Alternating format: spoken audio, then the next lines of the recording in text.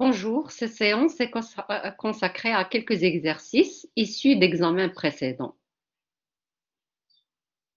pour que vous puissiez bien assimiler le cours des annuités. Exercice. Un capital est constitué de la manière suivante. 5 versements annuels de 100 000 dirhams, suivis par 4 versements annuels de 200 000 dirhams, suivis par trois versements annuels de 100 000 dirhams. Calculez la valeur acquise par ce capital un an après le dernier versement, sachant que le taux d'intérêt annuel est de 9%. Bien sûr, le système utilisé est celui des intérêts composés. Donc, un capital est constitué comment? D'abord par une suite d'annuités constantes de 5 versements annuels de 100 000 dirhams, suivi par 4 versements annuels de 200 000 dirhams. Une seconde suite d'annuités de 4 versements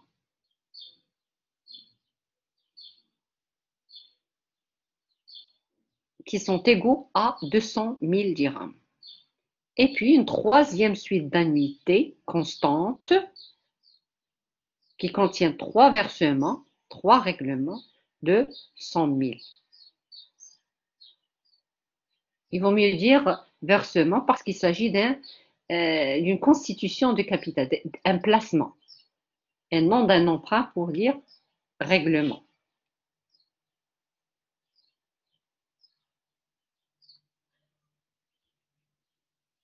Donc, regardez le schéma récapitulatif suivant. Donc, on schématise. Ça, c'est la valeur de 0. À la fin de la première période, la première année, elle verse 100 000. à la fin de la deuxième, 100 000. À la fin de la troisième, 100 000. À la fin de la quatrième, 100 000.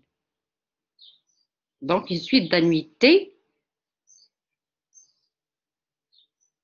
de 100 000, annuité constante, dont le, terme est égal à 100 000 dirhams. Euh, pardon, euh, 5 versements. 5 versements. À la fin de la cinquième, 100 000. Cinquième période. Et puis par la suite, une seconde suite de versement, suite d'annuité, de 200 000, annuité constante de 200 000. À la fin de la sixième année, donc, il va verser 200 000. À la fin de la septième, 200 000. À la fin de la huitième, 200 000. À la fin de la neuvième, 200 000.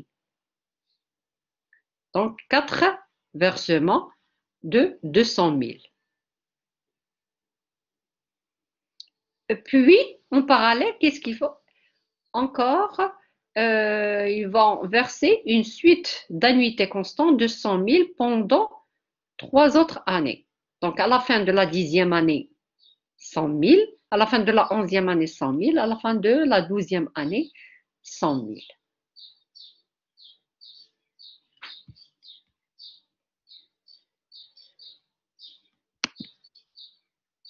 Donc, la valeur acquise d'après le cours, est donnée par la formule suivante. La valeur acquise est égale à A fois 1 plus I à la puissance n moins 1 sur I.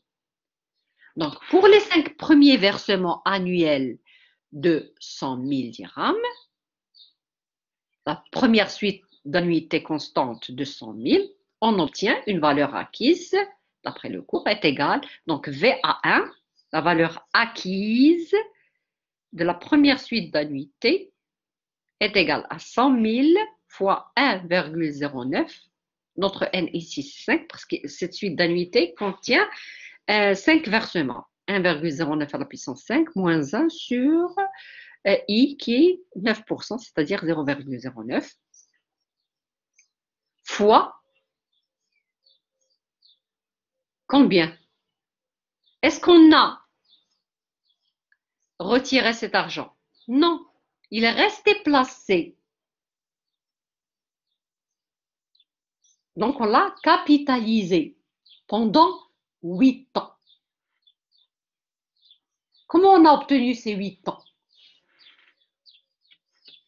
8, ça veut dire le nombre d'années de capitalisation après la dernière annuité des cinq premiers versements.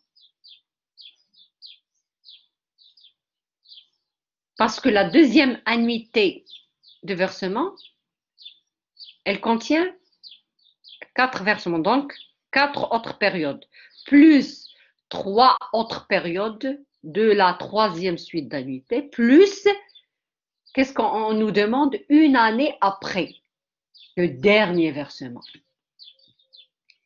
Et d'après le schéma, regardez. Donc, observez. Donc, là, à la fin de la cinquième année, on a calculé la valeur acquise de la première suite d'annuité. On l'a calculé. On n'a pas retiré cette valeur acquise. On l'a laissé placer jusqu'à une année après le dernier versement.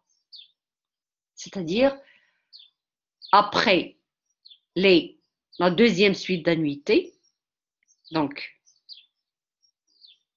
qui est de 4 ans, plus la deuxième suite d'annuité, la troisième suite d'annuité qui est de 3 ans, 4 plus 3 c'est 7, plus une année après le dernier versement c'est-à-dire à la fin de la 13e année. C'est pour cela que qu'il vaut mieux toujours schématiser. Et à partir du schéma, vous pouvez euh, écrire sans difficulté les, périodes restantes, calculer les périodes restantes. Donc, combien nous reste-t-il Donc, ici, c'est euh, pour la première suite d'annuité on a versé pour la première suite d'annuité à la, fin de la cinquième période. Combien nous reste-t-il de période C'est 13 moins 5. Ça vous donne 8. 13 moins 5. 13 moins 5, ça vous donne 8. La même chose pour la deuxième suite d'annuité. La deuxième suite d'annuité qui est de 20 000. C'est une suite de combien de versements? De quatre versements de 20 000 dirhams. On a versé à la fin de la sixième année 20 000, à la fin de la septième année 20 000, à la fin de la huitième année 20 000, à la fin de la neuvième année 20 000. Donc combien de périodes reste-t-il? C'est 13. On a retiré l'argent à la, la, fin de la treizième période. Donc 13 moins 9. 13 moins 9. Ça vous fait combien? Ça vous fait 4 ans.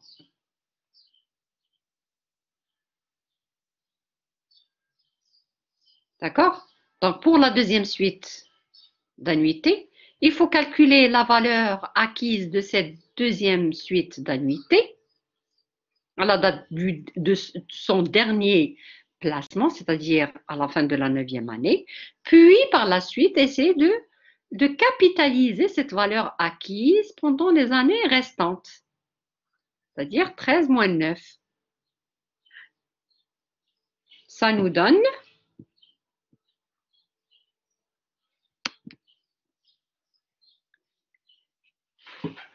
Donc, pour les quatre versements annuels de 20 000, on obtient une valeur acquise 20 000 fois 1,09 à la puissance 4 moins 1 divisé par 0,09 fois 1, on capitalise, fois 1,09 à la puissance 4. D'où est-ce qu'on a obtenu 4 On l'a obtenu par les trois années concernant la dernière suite d'annuité, plus, puisqu'on a laissé le capital une année après le dernier versement, donc un an est justifié par euh, cette année où nous avons laissé le capital placé.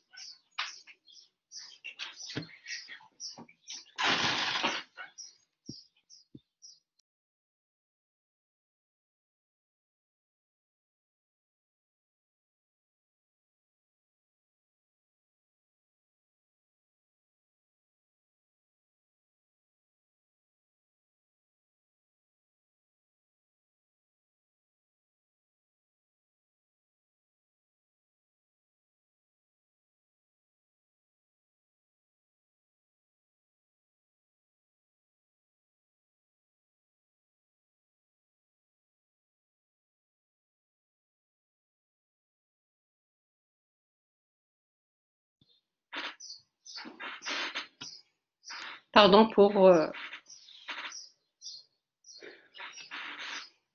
problème de connexion. Donc, je continue. Donc, pour la dernière suite d'annuité, on va d'abord calculer la valeur acquise à la date du dernier versement, c'est-à-dire à la fin de la douzième année. Et puisqu'il est capitalisé il va être capitalisé une année après. Donc, une année est justifiée par ceci.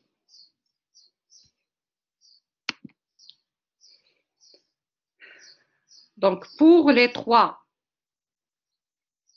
versements annuels de 100 000 dirhams, on obtient une valeur acquise VA3 est égale 100 000 fois 1,09 à la puissance 3 moins 1 divisé par 0,09. C'est ça normalement la valeur acquise de la troisième suite d'annuité. Mais puisqu'on n'a pas retiré cette valeur acquise, on l'a capitalisée une année. C'est pour cela qu'on on doit la multiplier par 1,09 à la puissance 1. 1, ça veut dire un an après le dernier versement de la troisième suite d'annuité. Ainsi, la valeur acquise totale est égale à la somme des trois valeurs acquises de trois suites d'annuité constantes. VA1 plus VA2 plus VA3. Et je vous laisse le soin de faire les calculs et bien sûr, voici un schéma récapitulatif.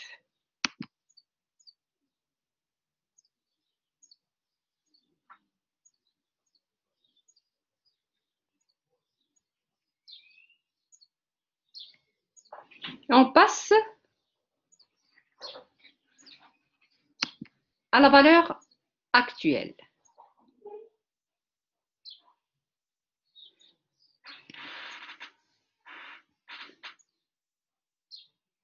Donc, on va supposer maintenant qu'il ne s'agit pas d'une constitution d'un capital, mais plutôt euh, d'un emprunt. Et donc, automatiquement, l'emprunteur, il doit régler le, le prêteur. Et dans ce cas-là, on doit utiliser la valeur actuelle. Et d'après le cours, la valeur actuelle est donnée par la formule VA est égal à A fois 1 moins 1 plus I à la puissance moins N sur I. Donc, soit des zéros, le montant de cet emprunt. Donc, la question ici, c'est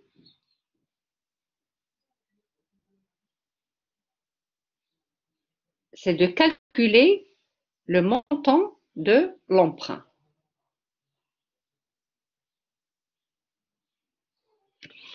La valeur actuelle est donnée donc par la formule VA est égal à A fois 1 moins 1 plus I à la puissance moins N sur I. Donc VA1, pour la première suite d'annuité, 100 000 fois 1 moins 1,08 à la puissance moins 5 divisé par 0,08. Vous vous rappelez comme quoi on actualise par rapport à la date 0. C'est-à-dire là, ce qui nous intéresse, c'est les périodes précédentes. C'est les périodes précédentes.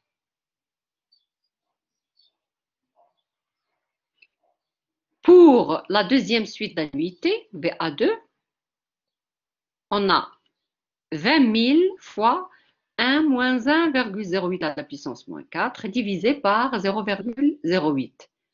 Mais on doit l'actualiser par rapport à la date 0. Cette valeur actuelle de la deuxième suite d'annuité, on doit l'actualiser par rapport à la date 0. Donc, on doit multiplier par 1,08 à la puissance moins 5.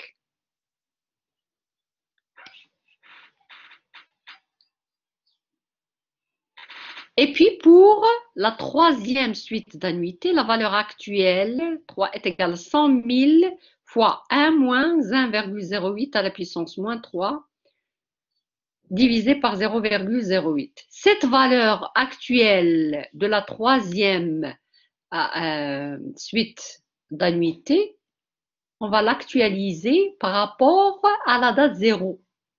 Donc, donc, combien on a de périodes précédentes? Neuf périodes précédentes. Neuf périodes précédentes. Où est-ce qu'on a ces neuf périodes précédentes? On a cinq périodes précédentes concernant la première suite d'annuité et quatre périodes précédentes euh, qui concernent la deuxième suite d'annuité. Toutes ces périodes, ils précèdent la troisième suite d'annuité. Pour bien comprendre, voici le schéma récapitulatif. Donc, on a une suite d'annuités constante de 100 000. Donc, de 5, on a cinq règlements de 100 000 qui constituent la première suite d'annuités. On a par la suite une seconde suite d'annuités de 20 000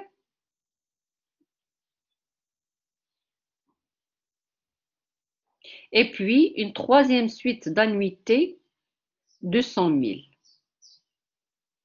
Puisqu'il s'agit d'un emprunt, donc on doit utiliser la valeur actuelle. Et lorsqu'on utilise la valeur actuelle, on doit faire attention aux périodes précédentes. pourquoi? Parce qu'on actualise par rapport à la date 0. Donc, pour la deuxième suite d'annuité, on l'actualise par rapport à la date 0. Une fois qu'on calcule sa valeur actuelle, on doit l'actualiser par rapport à la date 0. Et donc, on doit multiplier par 1 plus i à la puissance moins 5.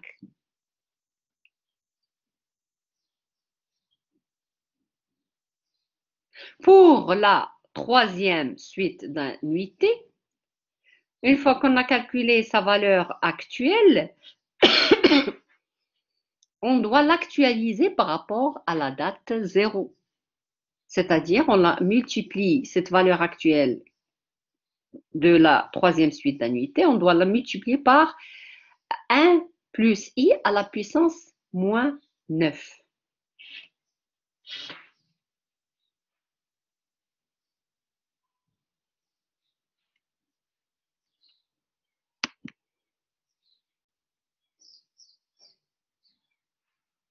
C'est clair? Donc, toujours, on actualise par rapport à la date 0 et on fait attention aux dates précédentes.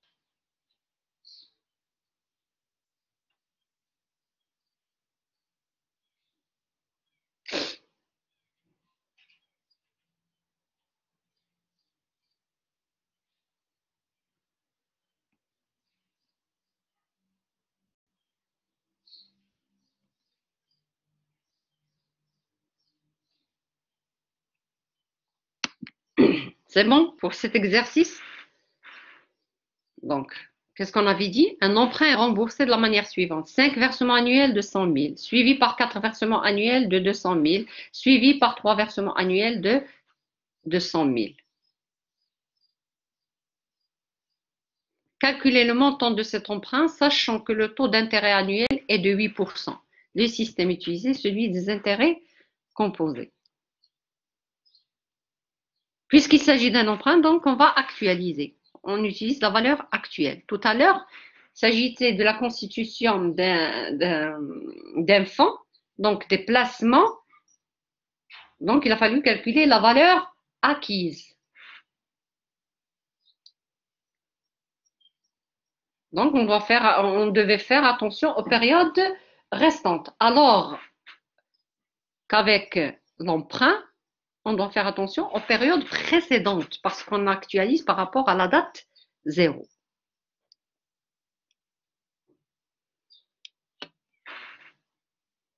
Et donc, si on schématise l'exercice, on le schématise de la manière suivante. Ça va vous faciliter la compréhension de l'énoncé. La valeur actuelle à la date 0, c'est la valeur d'origine. Donc, première suite d'annuité de 100 000, deuxième suite d'annuité de 20 000 et troisième annuité, suite d'annuité de 100 000. On utilise la formule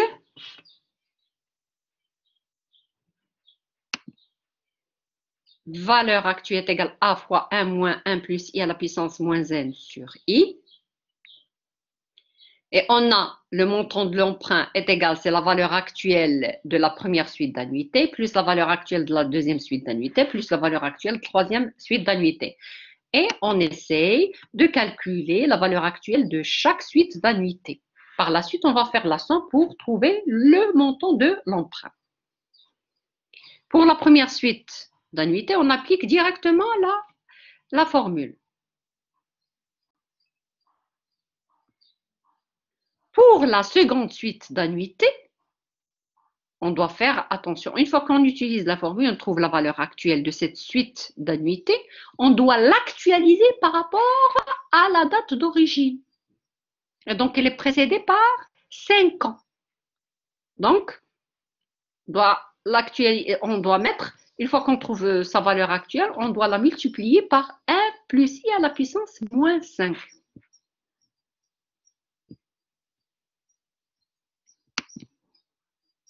Donc, VA2 est égal 200 000 fois 1 moins 1,08 à la puissance moins 4 divisé par 0,08 cette valeur actuelle, on doit l'actualiser par rapport à la date 0. Donc 1,08 à la puissance moins 5.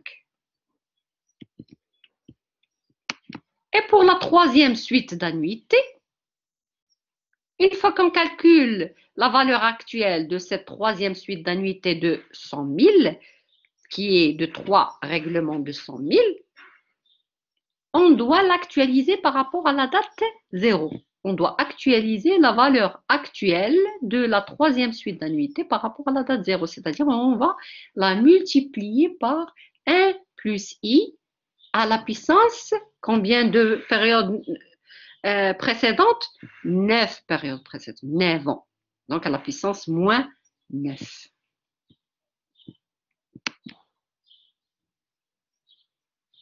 Donc, la valeur actuelle de la troisième suite d'annuité est égal à 100 000 fois 1 moins 1,08 à la puissance moins 3 divisé par 0,08.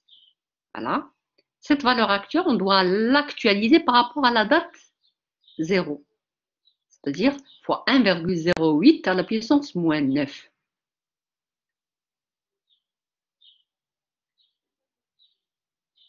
Voilà.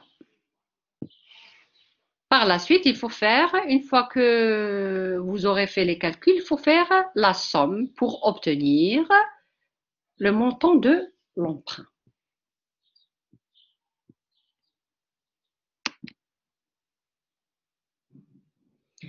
On passe à un autre exercice.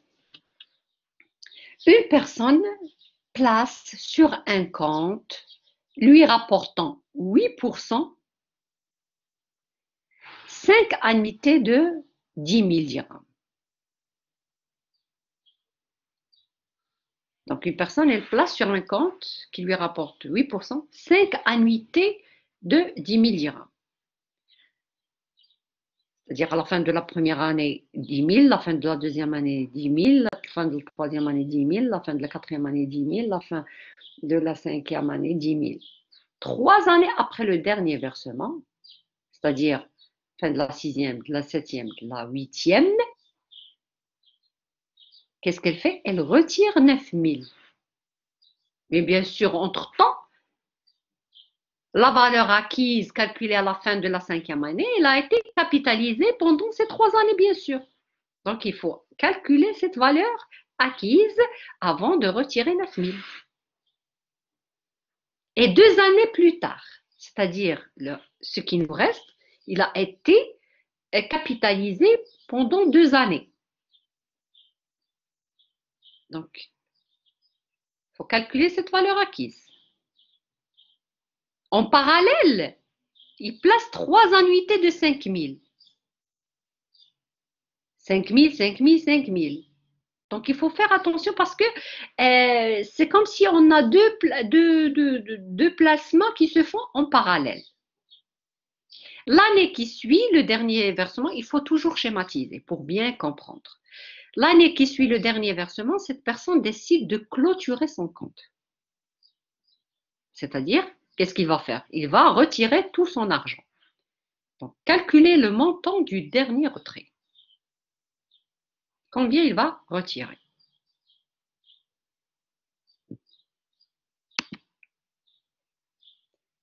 Donc, immédiatement après le dernier versement, la valeur acquise, les calculs en fin de période, VA1 est égal 10 000 fois 1,08 à la puissance 5 moins 1 divisé par 0,08.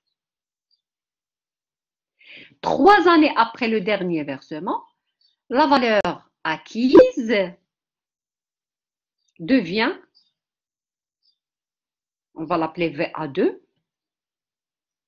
VA1, elle a été capitalisée pendant trois ans. Donc, on doit la multiplier par 1,08 à la puissance 3. Et puis, on nous dit comme quoi il y a un retrait de 9000 dirhams. Et donc, après le retrait de 9000 dirhams, la nouvelle valeur devient, on va l'appeler VA3. VA3 est égal VA2 moins 9000. Deux années plus tard, cette VA3, cette somme devient c'est-à-dire, elle va être capitalisée pendant deux ans. VA3 fois 1,08 à la puissance 2. On va l'appeler VA4. En parallèle, qu'est-ce qui se passe?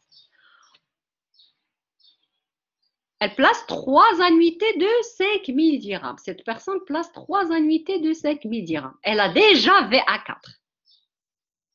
Mais en même temps, qu'est-ce qu'elle va faire? Elle n'a pas retiré ses V à, 4. Elle va la laisser se capitaliser. En parallèle, qu'est-ce qu'elle fait? Elle place trois annuités de 5000 dirhams, soit une valeur acquise de VA' est égal à 5000 fois 1,08 à la puissance 3 moins 1 divisé par 0,08.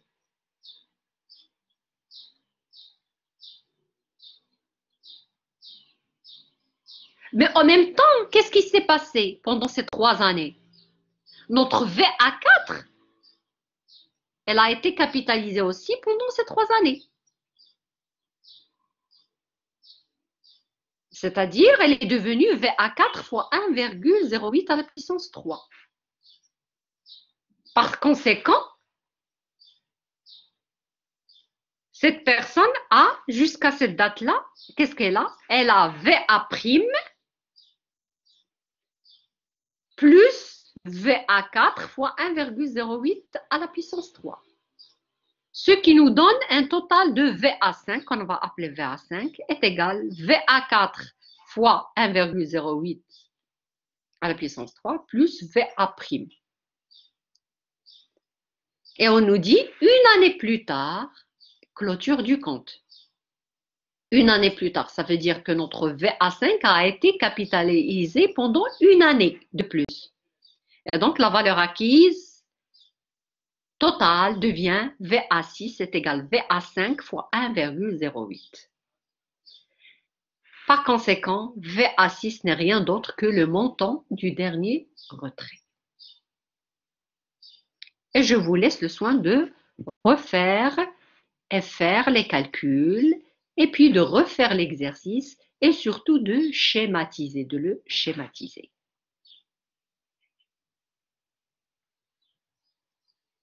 Comme déjà fait dans l'exercice précédent. Donc, merci pour votre attention et à la semaine prochaine, Charles. Fin de la séance.